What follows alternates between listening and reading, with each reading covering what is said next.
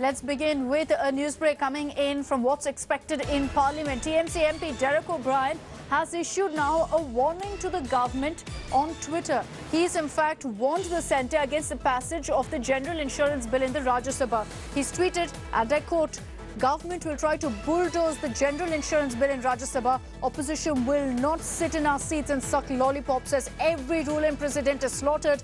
We will all oppose this bill like we did the draconian farm bills in Parliament. So the uh, TMC MP making it very clear that while the general insurance bill was passed in the Lok Sabha, it will not happen in the Rajya Sabha. He is saying that the opposition will come together. They will oppose this bill like what happened during the passage of the farm bills in Parliament. So expect a showdown in the Rajya Sabha, even as there seems to be some agreement on a discussion, on debate today in both houses.